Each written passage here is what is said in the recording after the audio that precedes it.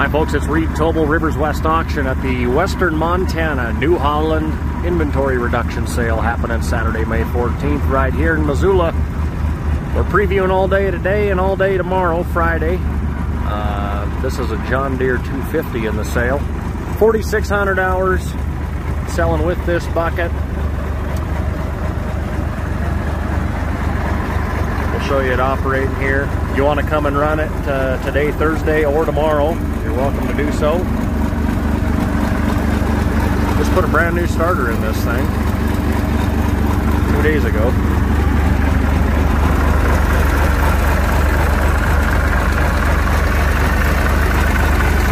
And it is going to sell no reserve Saturday.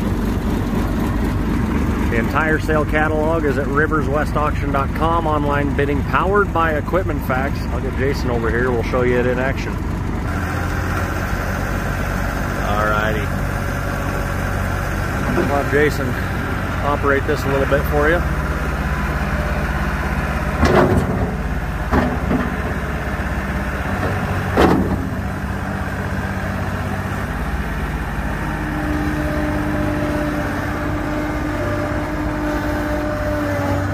Three skid steers selling in this, well, four skid steers, I guess. Three big ones and a little one. Two New Hollands, a John Deere, and a case.